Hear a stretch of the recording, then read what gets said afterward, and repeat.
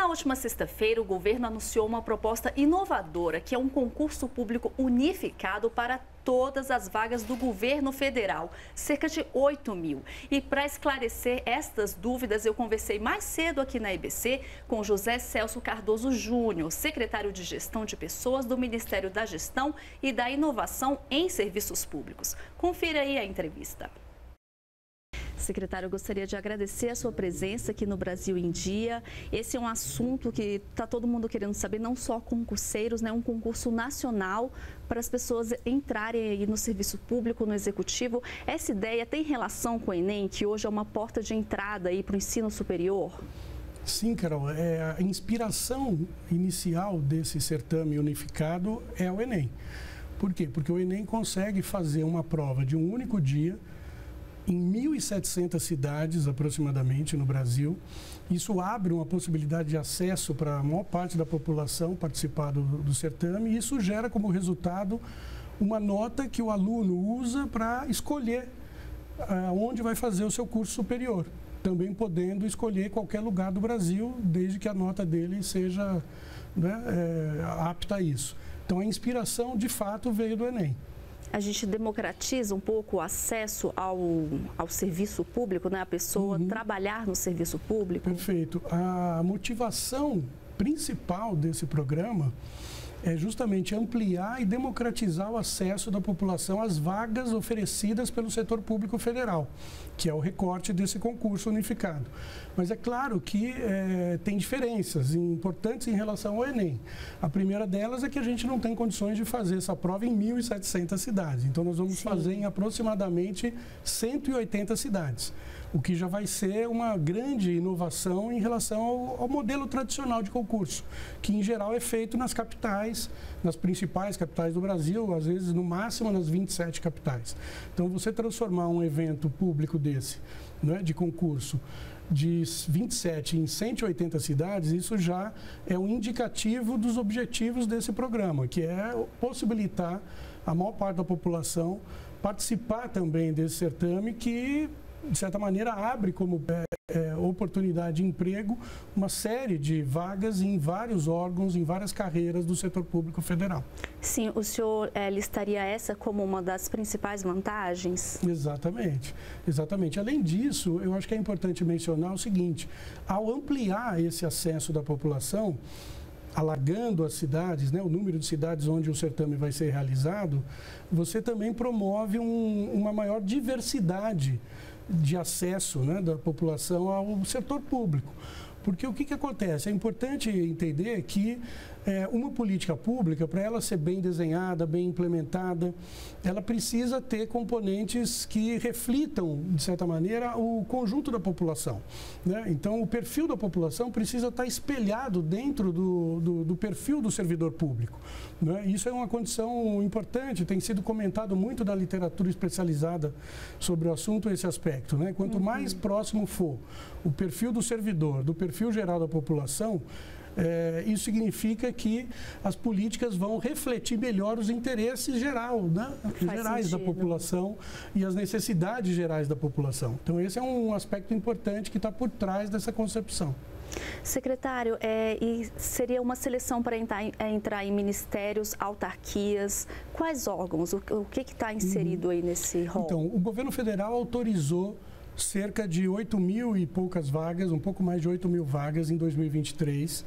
E essas 8 mil vagas, elas é, perpassam cerca de 60 órgãos da administração federal.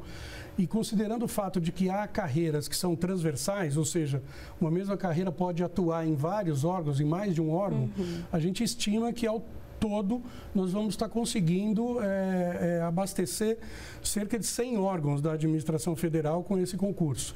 Né? Então, é um movimento importante de reconstrução das capacidades do Estado para justamente é, melhorar a prestação de serviços para a população. E considerando essa amplitude né, do serviço público, são diversas áreas do conhecimento, é, os senhores já pensaram se vai ter mais de um tipo de prova? Uhum. Como mais ou menos essa seleção pode ser feita? Sim, o desenho está construído da seguinte maneira. É, haverá um único dia de prova, que ainda está para ser definido qual será. Uhum. É, nesse dia de prova, os candidatos eles vão fazer dois tipos de prova. uma prova geral de conhecimentos objetivos que vai ser uma prova comum para todos os candidatos, e um segundo tipo de prova, que é uma prova que a gente chama de específica. Mas ela é específica não exatamente por carreira ou órgão da administração, mas ela é específica pelo que a gente está chamando de área de atuação governamental. O que, que é isso? A gente sabe que o governo, por meio das políticas públicas, atua em várias áreas: área social, área ambiental, área da cultura, ciência e tecnologia, saúde, etc. Então, nós organizamos o certame de maneira tal que os candidatos escolhem pela vocação deles, pela área de formação original deles, a sua área de vocação, a sua área de interesse. Né? E podem se candidatar eh, a essas áreas, né? que, são, que, que reúne cada uma dessas áreas vários órgãos ou várias carreiras, várias possibilidades. Eh, ao fazer isso, ele amplia as suas chances, porque ao invés de ele fazer uma prova escolhendo apenas um órgão, uma carreira, ele pode, escolhendo uma área de atuação, por exemplo, a área social, escolher é, vagas que estão sendo ofertadas em vários ministérios, em mais de uma carreira, Perfeito. etc. Então, isso também é uma vantagem, de certa maneira, desse concurso. Né? Essa prova, então, vai ser específica para cada uma dessas áreas de atuação do Estado. E depois a própria administração pública pode ter uma, é, um movimento desse, desse funcionário público de uma melhor forma, ele pode ser melhor aproveitado, né, Exatamente, secretário? porque uma das ideias é que os servidores eles tenham capacidade de atuar em um espectro mais amplo de, de áreas, né, possam se adaptar melhor em várias funções e aprender ao longo do processo de trabalho outras especializações além da sua original. Né, porque a gente sabe que no setor público, é, e eu sou servidor, eu posso falar um pouco até de experiência própria, com o passar do tempo você vai ganhando aptidões novas que você não tinha no início. Sim. Isso não está dado no início quando a pessoa faz a faculdade, isso é construção ao longo do trabalho né, na, na vida profissional. Isso vale também, claro, para o setor privado, né? Mas essa é, é, obtenção de aptidões novas que se dá no ambiente de trabalho, ela te permite trabalhar em outras áreas. Né? Então, esse concurso também abre essa possibilidade de, no futuro, os servidores migrarem, é, eventualmente, de área né? ou se especializarem em um ou outro tema mais específico. Né? Ótimo. E já tem um cronograma pré-desenhado, né, secretário? O senhor poderia comentar, uhum. por favor? É, o cronograma, é, grosso modo, está montado da seguinte maneira: até o final do mês de setembro, aproximadamente, os órgãos que têm vagas disponíveis né, para participar do concurso, eles vão ter que declarar uma, uma interesse em participar desse certame unificado.